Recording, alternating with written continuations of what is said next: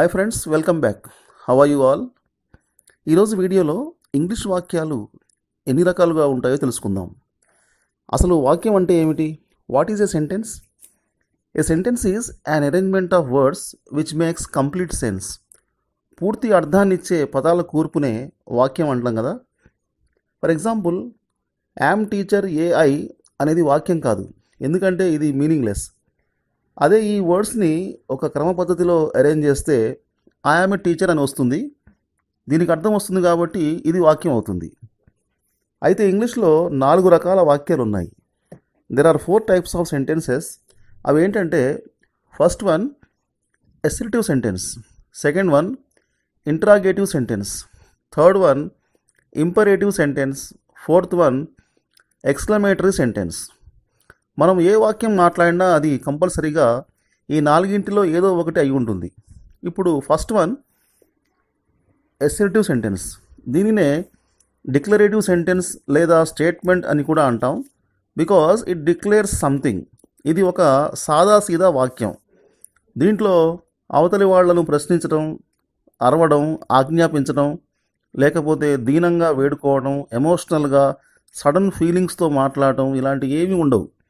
For example India is my country birds fly in the sky the sun rises in the east English is a very interesting language ఈ వాక్యాలు సాదాసీదా plain వాక్యాలు కాబట్టి వీటిని నేను సరదాగా plain దోశతో compare చేస్తున్నాను. వీటిని ఎలా పలకాలంటే స్టార్టింగ్ వర్డ్స్ కొంచెం గట్టిగా పలకాలి. మెల్లగా వాల్యూమ్ తగ్గించుకుంటూ రావాలి. చివరి పదాలను అని అన్నట్లు పలకాలి. దీనినే ఫాలింగ్ టోన్ అంటాం. నేను ఈ ఫాలింగ్ టోన్లో కొన్ని వాక్యాలు మాట్లాడతాను వినండి. My father is a doctor my mother is a homemaker I have two brothers I have no sisters we are going to market they want to see a doctor ఇలా falling tone అంటే volume is falling down స్టార్టింగ్లో ఎక్కువగా ఉండి చివరిలో తగ్గిపోతుంది.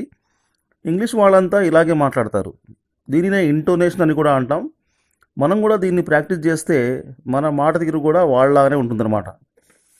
ఇక second type interrogative sentence కొన్ని విషయాలను రాబట్టాలంటే మనం కొన్ని ప్రశ్నలు వేయాల్సి వస్తుంది. ఇప్పుడు పోలీస్ వాళ్ళు క్రిమినల్స్ని ఇంట్రాగేట్ చేసి ఇన్ఫర్మేషన్ రాబడుతుంటారు కదా. ప్రశ్నలు అడిగే వాక్యాలను ఇంట్రాగేటివ్ సెంటెన్స్ అని అంటాం. ప్రశ్నలు వేయకుండా మనకి ఒక రోజు కూడా గడుస్తుందా? గడవదు. జనరల్లీ ఈ క్వశ్చన్స్ డబ్ల్యూహెచ్ వర్డ్స్తో స్టార్ట్ అవుతాయి.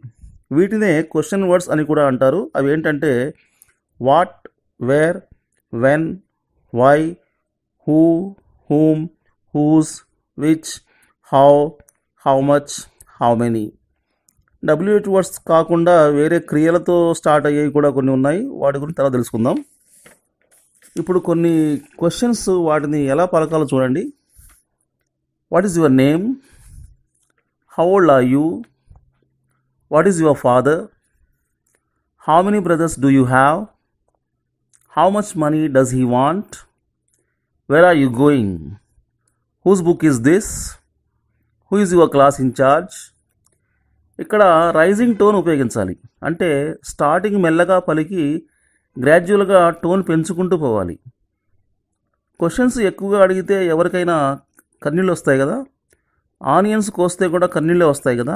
అందుకే సరదాగా నేను ఈ ఇంట్రాగేటివ్ సెంటెన్స్ని ఆనియన్ దోశ వాటితో పోలుస్తున్నాను అనమాట ఓకే ఫ్రెండ్స్ ఇక థర్డ్ టైప్ ఇంపరేటివ్ సెంటెన్సెస్. ఒక్కోసారి మనం కోపంతో ఎదుటివారిపై అరవాల్సి వస్తుంది. ఇప్పుడు ఫాదర్ కోపం వస్తే కొడుకుతో close the door open the door post the letter do the work అని ఆర్డర్ పాస్ చేస్తాడు కదా?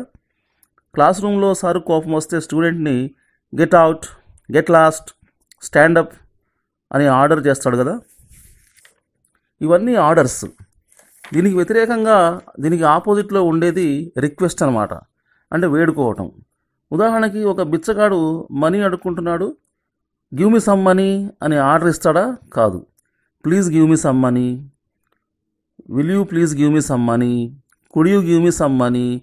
ఇలా ప్లీజ్ ప్లీజ్తో వచ్చేయని రిక్వెస్ట్ అనమాట తర్వాత కొన్ని స్పెషల్ అకేషన్స్లో మనం ఎదుటి వాళ్ళని విషెస్ చెప్తూ ఉంటాం. Wish you happy new year many many many happiness of the day wish you all success wish you happy married life may God bless you ఇలా ఆర్డర్స్ రిక్వెస్ట్ విషెస్ వీటిని ఇంపరేటివ్ సెంటెన్స్ అంటారన్నమాట. అంటే వీటిలో ఏమేమి ఉన్నాయి? Orders ఉన్నాయి. రిక్వెస్ట్లు ఉంటాయి విషెస్ కూడా ఉంటాయి.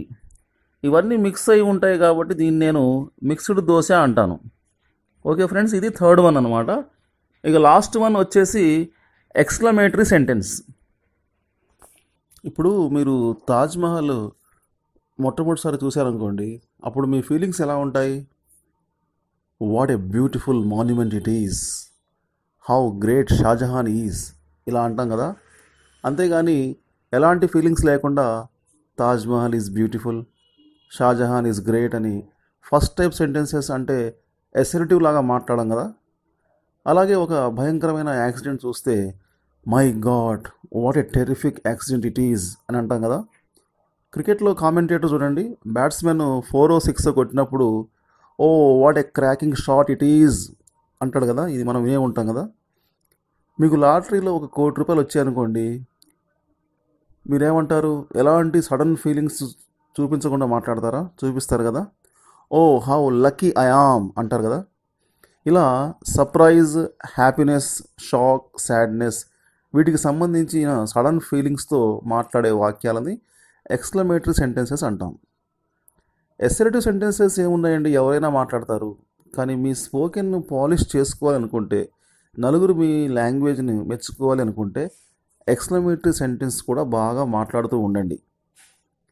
వీటి ద్వారానే స్పోకెన్పై మీకున్న పట్టు అర్థమవుతుంది ఎదుటి వాళ్ళకి. ఉదాహరణకి ఒక చిన్న పిల్లను బేబీని మీరు చూశారనుకోండి చాలా అందంగా చూడముచ్చటగా ఉంది అని చెప్పాలంటే అప్పుడు దిస్ బేబీ ఈజ్ బ్యూటిఫుల్ అన్నారనుకోండి. దాంట్లో అంత టేస్ట్ లేదండి.